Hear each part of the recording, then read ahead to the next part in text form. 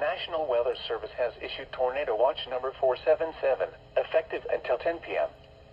This watch includes the following counties in Illinois Boone, Cook, DeKalb, DuPage, Grundy, Kane, Kankakee, Kendall, LaSalle, Lake, Lee, McHenry, Ogle, Stephenson, Will and Winnebago, and the following counties in Indiana Jasper, Lake, Newton, and following. Winthrop Harbor to Wilmette Harbor, Illinois, Wilmette Harbor to Northerly Island, Illinois, Northerly Island to Calumet Harbor, Illinois, Calumet Harbor, Illinois to Gary, Indiana, Gary to Burns Harbor, Indiana, Burns Harbor to Michigan City, Indiana, Lake Michigan from Winthrop Harbor to Wilmette Harbor, Illinois. 5 nautical miles offshore to Mid-Lake, and Lake Michigan from Wilmette Harbor, Illinois to Michigan City, Indiana. 5 nautical miles offshore to Mid-Lake.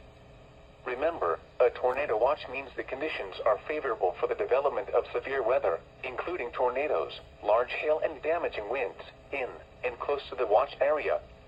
While severe weather may not be imminent, persons should remain alert for rapidly changing weather conditions and listen for later statements and possible warnings. Stay tuned to NOAA Weather Radio, commercial radio and television outlets, or internet sources for the latest severe weather information.